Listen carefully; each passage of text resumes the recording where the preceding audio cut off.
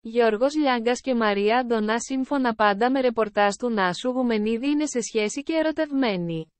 Μετά τη φωτογραφία που κυκλοφόρησε και τους δείχνει σε δημόσια έξοδό τους να περνάει όμορφες στιγμές μαζί και με φίλους τους, ο δημοσιογράφος επιστρέφει με νέες αποκαλύψεις σχετικά. Οι αποκαλύψεις για τη σχέση Γιώργου Λιάγκα Μαρίας Αντωνά.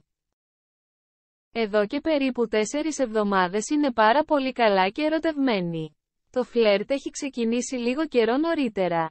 Ο πρώτος είναι η πρώτη φορά μετά από χρόνια εμφανίζεται δημόσια με έναν άνθρωπο και δεν φίδεται είτε αγκαλιών είτε φιλιών, δείχνει τον έρωτά του, την αγάπη και την αδυναμία του στη Μαρία και το χαίρομαι πάρα Είναι δύο ελεύθεροι άνθρωποι οι οποίοι βρήκαν έναν κοινό παρονομαστή και ζουν μαζί. Οι δυο τους μαζί με μεγάλη παρέα βρέθηκαν στο σπίτι του Κώστα Φραγκολιά. Είναι στην ομάδα της Σταματίνας. Βρέθηκαν στο σπίτι του για movie night.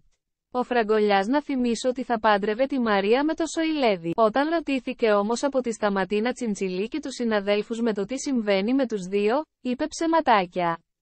Ξέχασε να πει ότι τους φιλοξένησε στο σπίτι του και εκεί γεννήθηκε ο έρωτας για πρώτη φορά. Εκεί έγινε το σπίρτο πυρκαγιά, αποκάλυψε χαρακτηριστικά ο Νάσος Γουμενίδης σήμερα Σάββατο 8 Ιουνίου στην εκπομπή Επιτόπου.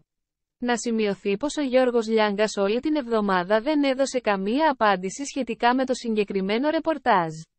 Βέβαια, ο παρουσιαστής ποτέ δεν μιλάει για την προσωπική του ζωή ισχύει ή δεν ισχύει κάτι καθώς έχει δύο παιδιά τα οποία θέλει να τα προστατεύσει.